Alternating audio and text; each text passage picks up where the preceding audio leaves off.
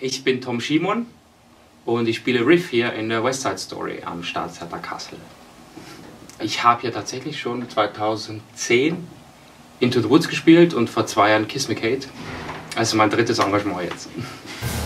Ja, ich habe West Side Story schon gespielt, schon zweimal. Einmal in Tecklenburg und einmal in Leipzig. Vor zwei, drei Jahren war Premiere, jetzt ist Wiederaufnahme. Und da habe ich auch schon mit Rupert und mit Andy gespielt. Also unser Bernardo und unser A-Rap hier. Worauf freue ich mich am meisten bei der Produktion? Ich glaube, das ist tatsächlich das Orchester. Ich finde diese Musik so kraftvoll und so, so, so groß, dass mit dem, ich weiß nicht wie viel, 40 Mann Orchester wir haben, äh, kriegt das nochmal so richtig Bums und dann macht das richtig Spaß, glaube ich. Besondere Herausforderung ist für mich, glaube ich, der äh, Dialekt, also die Sprache. Ich habe noch nie auf Englisch gespielt, gesungen schon, aber gespielt nicht. Aber mit Proben klappt das schon. Bei den Jets in West Side Story ist ja jeder Name der Rolle schon rollentypisch.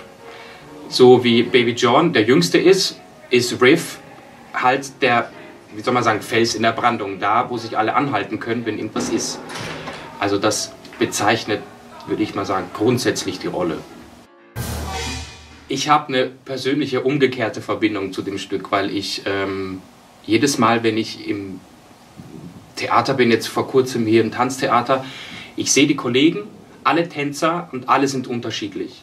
Es gibt nur verschiedene Typen, alle kommen von woanders her, sehen anders aus, können andere Sachen, aber schaffen gemeinsam etwas, was toll ist und was, was ich mir gerne angucke und was viele gerne sehen. Und ähm, dass das in West Side Story halt gerade das Thema ist, was umgekehrt behandelt wird, eben durch zwei Gruppen, die gegeneinander kämpfen, wo es eigentlich nichts zu kämpfen gibt.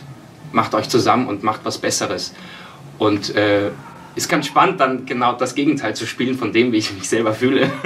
Ähm, das Publikum darf sich freuen auf fantastische Musik, auf ein harmonisches Ensemble und auf, glaube ich, kraftvolle und energiegeladene Szenen mit viel Tanz und Streit